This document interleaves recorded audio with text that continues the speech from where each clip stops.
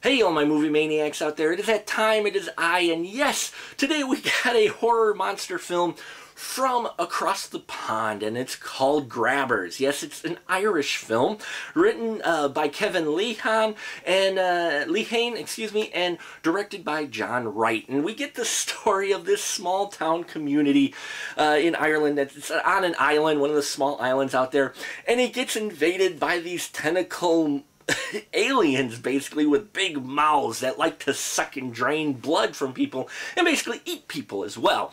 And they come to find that their only defense is by drinking lots of alcohol. Yes, that's right, folks. Their defense against this fierce blood sucking fiend from outer space is by drinking lots of alcohol. An, a monster story told the only way the Irish could. Ah, I love this film quite a bit. Uh, probably more than I should, but it just was very entertaining.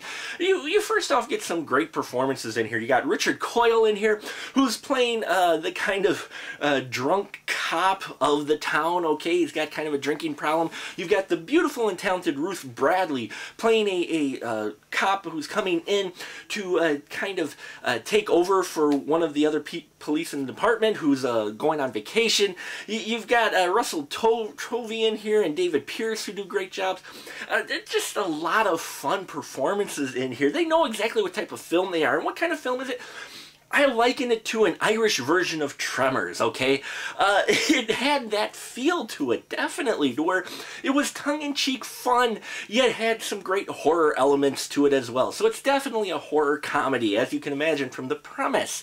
Now, the special effects in this were done really well. I really liked the design of the aliens that they came up with, as well as the story with them, and, and just the characteristics of them really were a lot of fun, and felt a bit original okay? It, it, there were some influences from other monster films in there, of course, but they gave it their own little twist, which I really liked. Um, and, and the performances here were excellent, and, and, production design in this film was really well done. And just a lot of fun, folks. I highly recommend this film to anyone who likes monster films and Tremors. It's definitely better than most of the monster films, if not all the monster films that Asylum's put out for. And I had to give Grabbers three and a half stubs, okay? Definitely a little bit of an original twist to your uh, modern monster story brought to you by the only way Ireland could bring it to you. It definitely had some uh, elements in there that uh, you'll enjoy, and I think you'll like the performances as well. So check out Grabbers. It's on Instant View right now on DVD. And until next time, folks, keep that ticket stub.